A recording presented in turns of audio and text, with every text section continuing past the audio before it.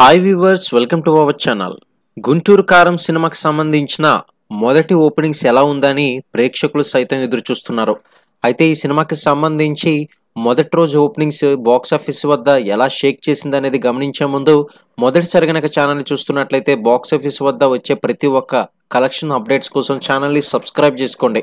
ఇక ఈ వీడియోని లైక్ చేయడం మాత్రం మర్చిపోకండి. ఇక మహేష్ బాబుతో పోటీగా అదే రోజున హనుమాన్తో తేజ కూడా వస్తున్నాడు. మరి ఈ రెండు సినిమాలు బాక్స్ ఆఫీస్ కలెక్షన్స్ కూడా ఛానల్లో అప్లోడ్ చేయడం జరుగుతుంది. ఇక గుంటూరు కారం సినిమాకి సంబంధించి ఏపీ మరియు తెలంగాణ అదే విధంగా వరల్డ్ వైడ్గా ఆక్యుపెన్సీని ఎంత సొంతం చేసుకుందనేది చూసేద్దాం.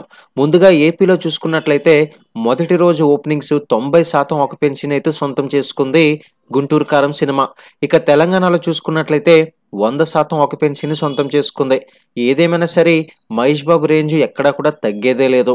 ఇక వరల్డ్ వైడ్గా చూసుకున్నట్లయితే మాత్రం తొంభై శాతం ఆక్యుపెన్సీని అయితే సొంతం చేసుకొని ఇది కూడా ఒక రికార్డ్ని అయితే సృష్టించింది. ఇక సలార్ సినిమాతో పోటీగా మాత్రం ఈ సినిమా ఉండదని చెప్పాలి. ఎందుకంటే ఇప్పటికే సలార్ సంబంధించిన బాక్స్ ఆఫీస్ కలెక్షన్స్ అనేది డౌన్ అయిపోతూ వస్తుంది.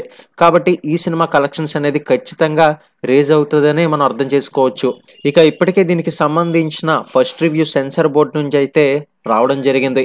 ఆ వీడియోస్ కనుక చూడలేనట్లయితే ఛానల్లో అప్లోడ్ చేయడం జరిగింది. ప్రతి ఒక్కరు కూడా వాచ్ చేసేసండి ఇటువంటి మరిన్ని లేటెస్ట్ అప్డేట్స్ కోసం ఛానల్ని సబ్స్క్రైబ్ చేసుకోండి.